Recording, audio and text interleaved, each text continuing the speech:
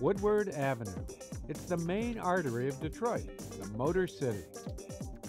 History happened along this fabled route.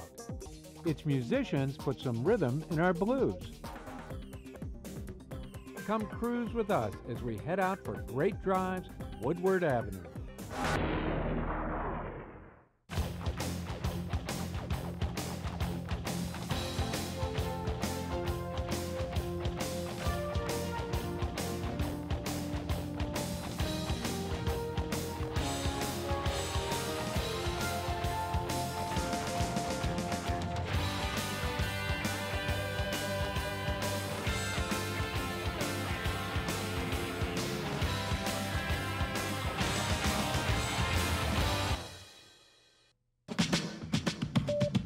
We were on a quest to uncover the history of Woodward Avenue.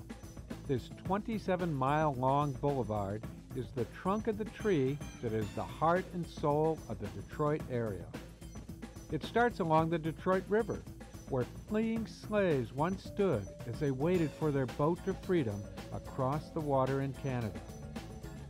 It was still the Motor City in 1959 when Berry Gordy took out an $800 loan to launch the Motown Record Company in his house just down the street from GM headquarters.